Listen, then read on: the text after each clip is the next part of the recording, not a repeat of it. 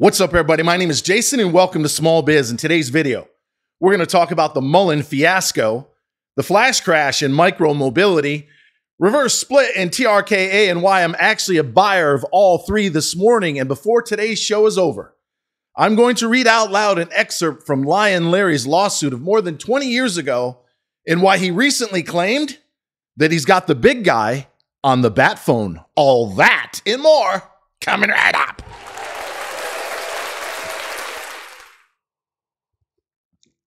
All right, ladies and gentlemen, thank you very much to our 300 and small change premium members that are with us. Today is day one of the new pricing structure, which I talked about all month. It's $2 a day, $60 a month, or save 17%, $600 a year, because starting next week, we're going to begin to roll out a, a number of features, not the least of which are a Discord group for you stock junkies a Facebook, it's a Discord channel, excuse me, a Facebook group for those of you that have a small business or a side hustle, an invite only, especially in the beginning for the stock texting. And yes, as I did the other day, and wow, what about the views? 60 second videos where I talk about nothing but you, what you sell, your small business, and how everybody watching, thousands of them, can buy whatever it is that you sell. But I want to quickly state once again if you're not a stock junkie, if you don't give a shit about making money in the markets or following me on Twitter, or if you don't have a side hustle or a small business that I can help you grow, then you're on the wrong channel and you're free to log off right now. But as I'm coming to you at the 1130 hour here just outside of Atlanta, we've got a bit of a choppy day, had a major sell program at the open, but right now the Dow is up 110 points. The S&P has added six tenths of 1%. The big thing or two that's jumping off the page before I get into the meat of the argument, and you're not going to believe what Lion Larry recently claimed about the big guy. You know, the sniffer? Unreal. The VIX right now at 1597, and the US dollar is crashing down seven tenths of 1%. Those are both very bullish. So even though short term we are overbought, we are uh, tooling around, and I got to slow down. This, folks, once or twice a week, I'm going to do a 15 to 20 minute video. And even though watch times these days are only 40%, meaning you're going to log off after seven or eight minutes, I have to spend at least once or twice a week going through the week's events so that you can understand what the hell is going on, why we're buying what we're buying, why we're selling what we're selling, why I'm about ready to double or even triple my workload, and why you, yes, at least a handful of you are going to make some major fucking money and cruise with me along with rolling the dice in Vegas over the next few years if you're a premium member. So I would get one and never let it go. $2 a day, pay by the year, 600. It's no big deal. All right, look. The VIX at 15 and change and the US dollar at 103.6 uh, are telling you risk on.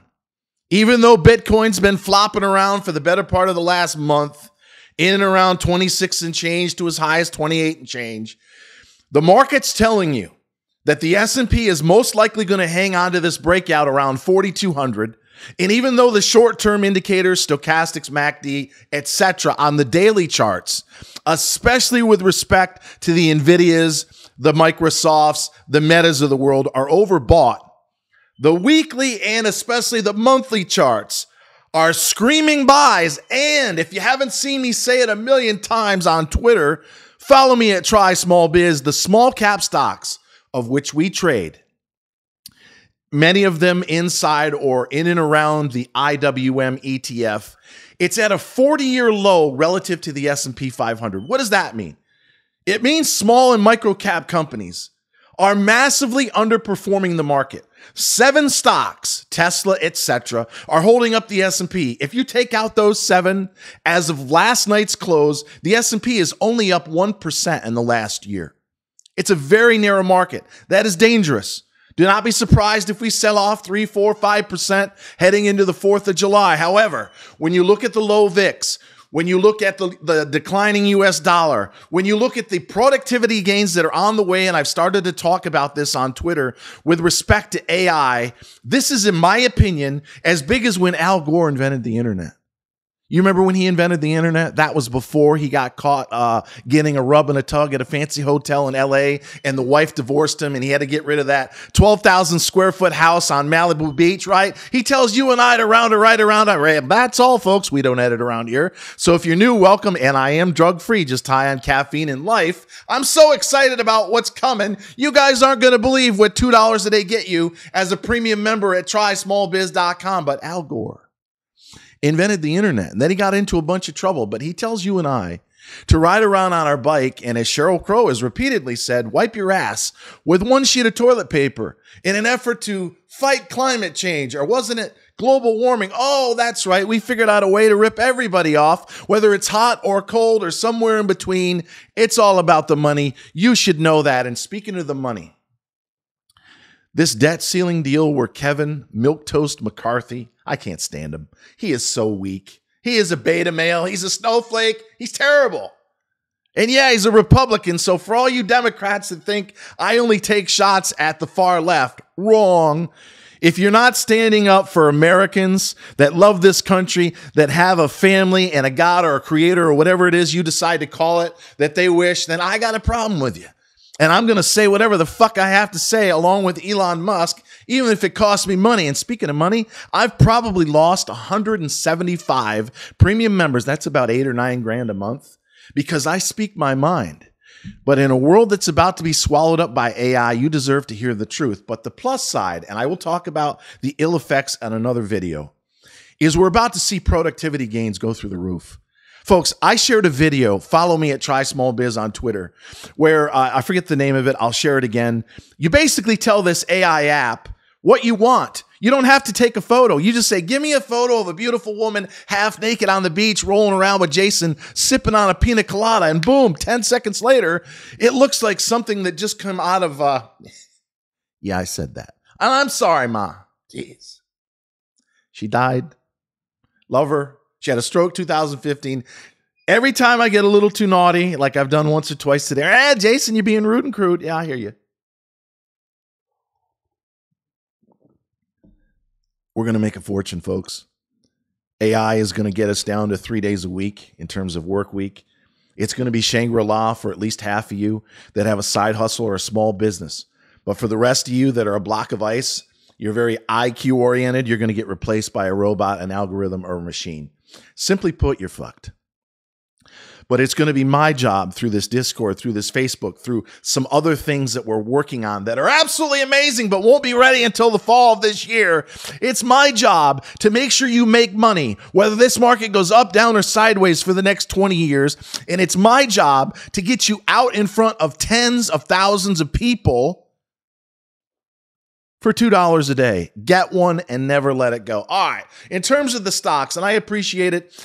Uh, if you're here, you'll notice going forward, I will not be talking about premium memberships very often. In fact, other than when I have to remind everybody when they start saying, well, how do I get a 60 second video? I see that Tammy Murphy and Ryan, who owns Family Car Service, got 4,000 views and I hear they're making money. I'll have to remind you then, but it's going to be a lot less than the begging and pleading I did for over a year at $1 a day. All right, last trade, MCOM 33, which I believe is the high of the day. That 17 print at the uh, low was a fake, but they did have a flash crash. It got down to 25 and change, 26. I shared a photo because we have a lot of people that seem to think I make up my trades. Bullshit. Everything I do, take a picture, enter the trade, send the tweet. It's within milliseconds of each other. And how I'm going to do all that and text you, I'm not quite certain. But if you are a premium member, you're going to have an amazing opportunity to get real time information. So you don't have to follow me to the minute on Twitter. But again, pinned at the top, those red and green circles tells you exactly what I own. And we had a shitload of activity.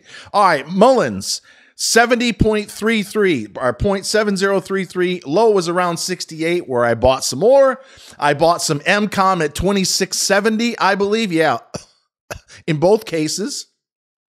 We had a reverse split one for 25 in Troika. I was loading up. Holy shit. 297. I got you in. Or if you're following me on Twitter at 252, right? I started buying it at 262, as low as 240 something. The average going all in, including some buys and what I just mentioned, was at $2.52, which reverse split adjusted is a dime. And a dime represents the all time low, approximately nine and a half cents on TRKA. So why was I buying all three? And again, stick around. I'm going to read out loud an excerpt handwritten from what I understand to be prison with respect to Lion Larry. And we're going to talk about who he claims, among other things, to have on the bat phone now. Oh, yes. This guy ain't fucking around. We're at an all time low again this morning. He's got a kick ass barbecue, but that's just the beginning of what Lion Larry and his so called $10 billion Saudi deal, which is an absolute fucking farce, is all about. But why did I load up on Troika, Mullen, and MCOM? Well, different reasons. Mullen and MCOM new lows, massive dilution. You may have seen where I shared the tweet, and this was from a filing six months ago, that Mullen uh, had $20 million or thereabouts of warrants that were exercisable as of June 1st. So I'm willing to bet that part of this whoosh at the open, because I bought some yesterday at 7240.724 on Mullen, was uh, the warrant conversion taking place. If not all of it, some of it, because they've been waiting well over a year to get out of this tranche. So here's the deal. And the same thing with MCOM, Sal, who I've eviscerated. I think he tweeted eight times this morning. Whenever he's tweeting like that, he's just, it's just ding, ding, ding, ding, ding, ting. The good news, however, although that he may have diluted, and I'm talking about MCOM by 4 million shares in the last week, I believe he's close, to, if not done, to ending the relationship with York, uh, Yorkville because he postponed, it was supposed to be yesterday, his Twitter spaces, which I will not be on. I am entertaining the idea of doing an interview. I understand he wants to come to Atlanta. And I invite him to bring the goons from Sicily. And it may be a fucking brawl because I will not put up with any of his lies or bullshit. You should know that by now, ladies and gentlemen. So I am entertaining the idea, Sal, if you are watching me, but I am going to rake your ass over the coals to force you to stop diluting every other day with Yorkville. And I hope you've lined up, or maybe even somebody like me could help you line up real institutional buyers that can buy 20,000, or excuse me, 20 million shares at a clip. So you have enough working capital to last you 12 to 18 months. So the investor or the trader, whichever you are, and again, I was buying as low as 267 on MCOM and as low as 68 cents on Mullins this morning, but it's the same story in both cases. Massive dilution. They have to stop diluting and they have to start performing. And in the case of MCOM, they are in a sweet spot. And the name, as I've said before, micromobility, in my opinion, is an absolute home run. The problem is, Sal is a total a hole. And I actually think he knows this.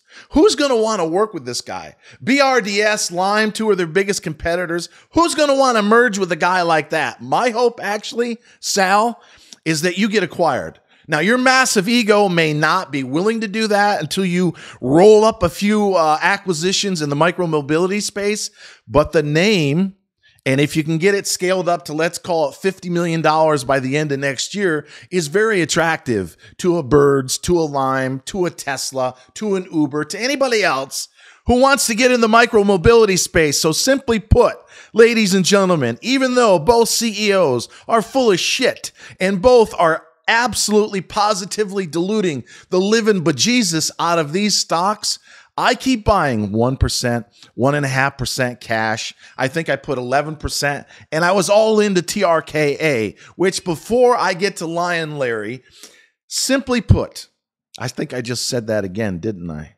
Thanks for hanging with me. Well worth it. We're only going to have one or two long videos a week.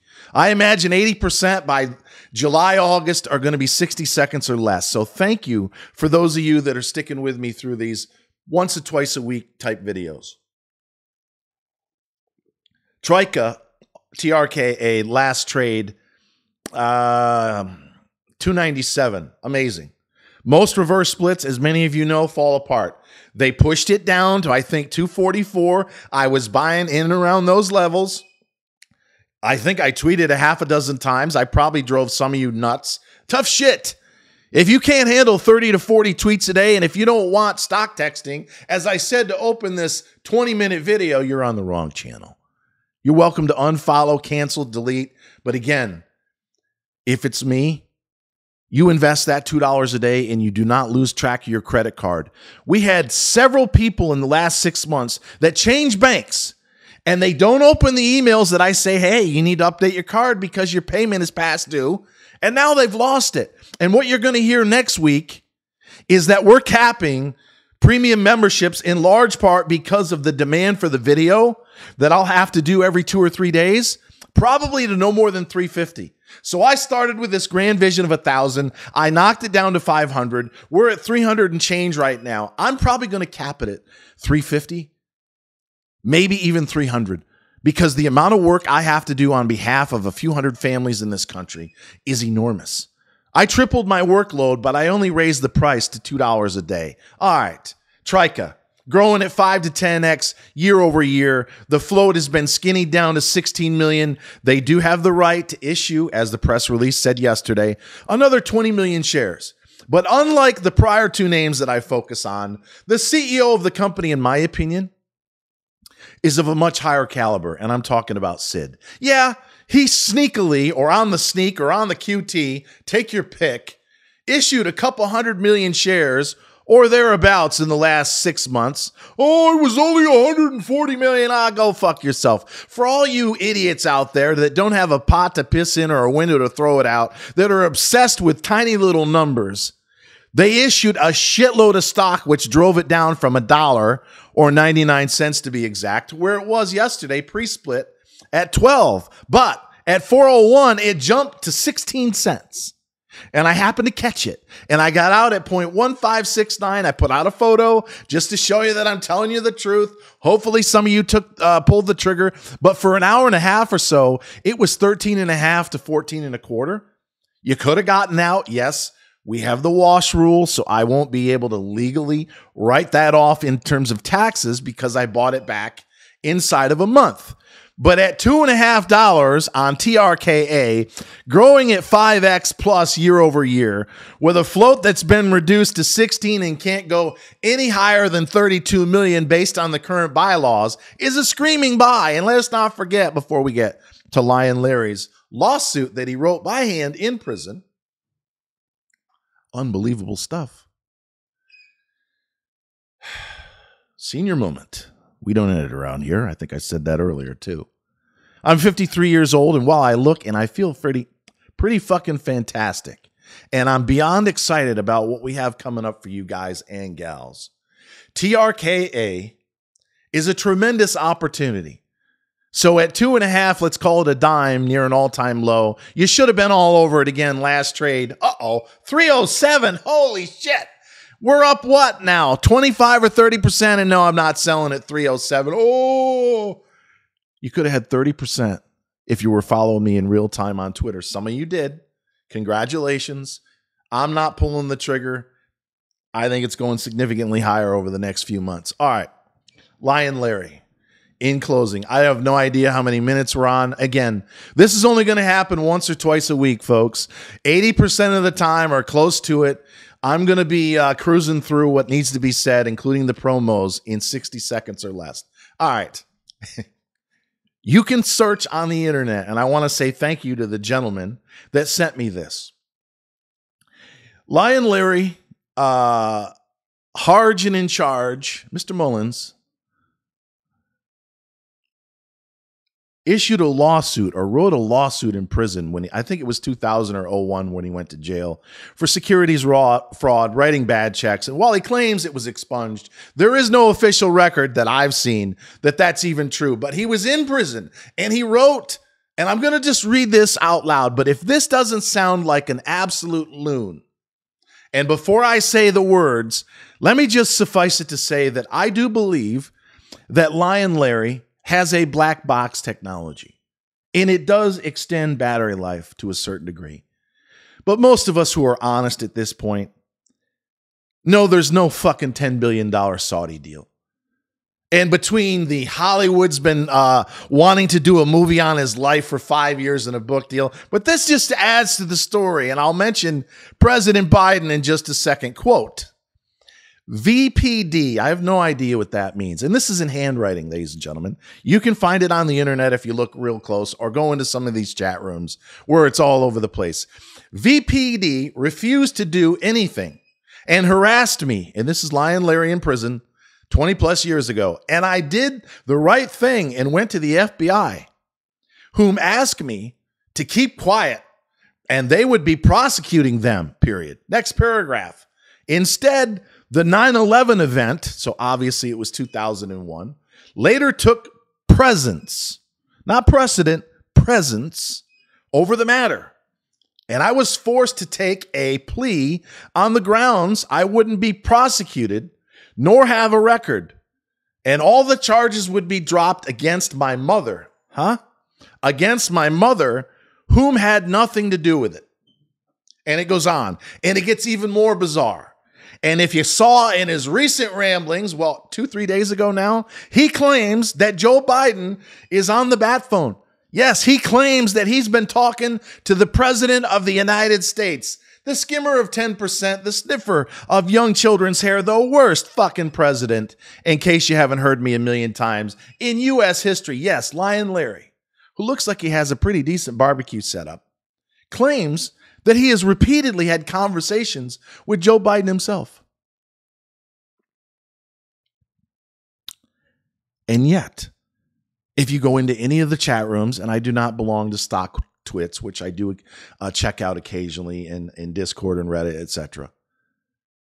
There are, I would say, 40%, and it used to be a lot higher, of people that believe that LH is telling the truth, that he's the real deal, that there's really a, a $500 price target that's about to be realized. No fucking way is that going to happen. I brought I bought my average down to around a dollar 12 Follow me on Twitter. You'll see everything with tiny little increments. And I told you stop buying at 118. I waited for it to drop 40%. And I started nibbling again yesterday at 72. I got some more today at 68. I'm in there as a bull because of Mullen. It's massively oversold. And if they'll just stop diluting and actually start delivering trucks and cars, etc., in July, August, in September, then we got something. And all I needed is for it to get over a dollar in small change, and I'm back to break even. But I do not believe a single fucking word other than maybe a tiny increment of what Lion Larry says. Folks, between being on a secret air, a military Air Force base to having drone projects, to having the president on the bat phone, to having a $10 billion deal, to be flanked by uh, assassins that uh, MSB has over in Saudi Arabia, but then change his story for the 15th fucking time and say, well, he doesn't really need to go over to Saudi Arabia because all he has to do is, quote, teach him how to use the technology. And then before that, in case I haven't already mentioned it, he was wanting to divorce himself of Mullins and keep the deal himself. So look, I strongly believe that Larry is a decent guy from the standpoint that I don't believe he has malicious intent. But I do think, and I do believe, and there's plenty of evidence to back this up, that he's a psychopath. And I think it probably stems from the fact that he had a bad relationship with his mother, or I'm betting in this case, his father. And he is programmed subconsciously to lie like a motherfucker in order to gain acceptance. Look at his Facebook wall. He's been talking about the, the, the fucking Hollywood deal for years and years. Most of what comes out of his mouth turns out to be a lie that he has to backtrack. And I think it's an illness, it's a condition, it's a psychosis that he needs to say shit like this in order to feel accepted. And none of us, including yours truly right here, is perfect. We're all screwed up on some level or another. But I would never put so many people's lives and, and retirements at risk by just blowing major smoke up your ass and mine 24 7, 365. So, In conclusion, I'm buying all three across the board. In fact, I'm all the way in with no extra cash. Get yourself a premium membership at trysmallbiz.com. And always remember that I absolutely love you guys and gals. And thanks for watching.